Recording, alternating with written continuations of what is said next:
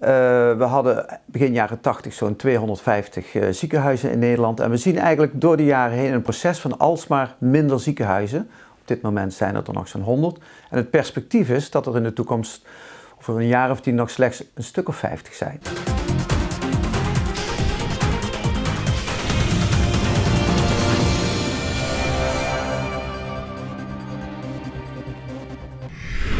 Eigenlijk hebben we in Nederland een traditie dat verzekeraars zelf geen zorgen aanbieden. Uh, verzekeraars zijn afgelopen jaren door de nieuwe zorgverzekeringswet enorm geconcentreerd. We hebben in Nederland nog maar eigenlijk vier grote verzekeraars die zo'n 90% van de markt hebben.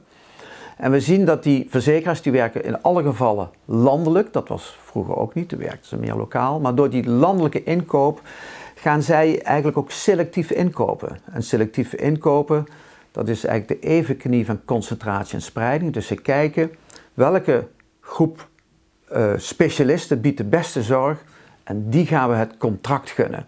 Dat betekent ook dat zij soms een groep specialisten of een ziekenhuis een contract niet gunnen. En daarmee komen die ziekenhuizen in een kritische fase. Dat is ook de verwachting dat er een reden waarom er minder ziekenhuizen zullen komen. En de verzekeraars hebben in Nederland de rol gekregen om in dat waardesysteem een evenwicht te brengen.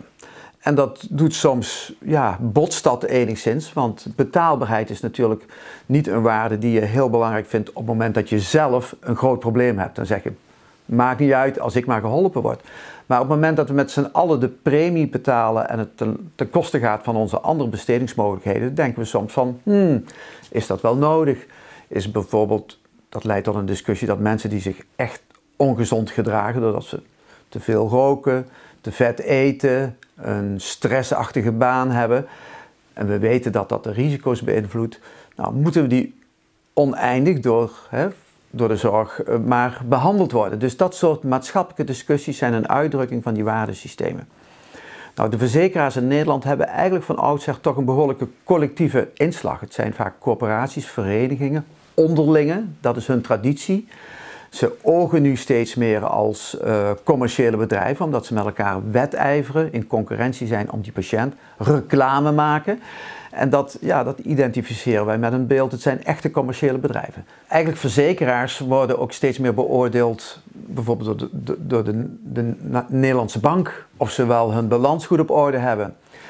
En we zien dat we eigenlijk steeds meer risico's in het systeem introduceren die weer vraagt om bepaald gedrag. Bijvoorbeeld reserves aanhouden. Nou, wil je reserves vormen, moet je winst maken, moet je een, een marge hebben. Dus we introduceren door dat meer marktconform werken, die gereguleerde concurrentie, introduceren we mechanismes die eigenlijk, ja, die soms aandoen als, is dat nou wel nodig? Want het speelt zich af in het publieke domein.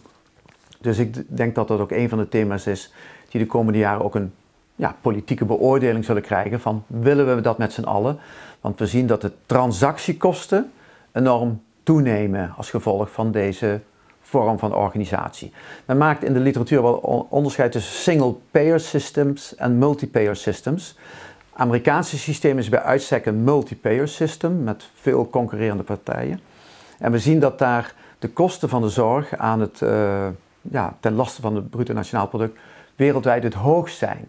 We zien dus eigenlijk internationaal dat die multi-payer systems niet, eigenlijk uiteindelijk niet zo goed performen op systeemniveau.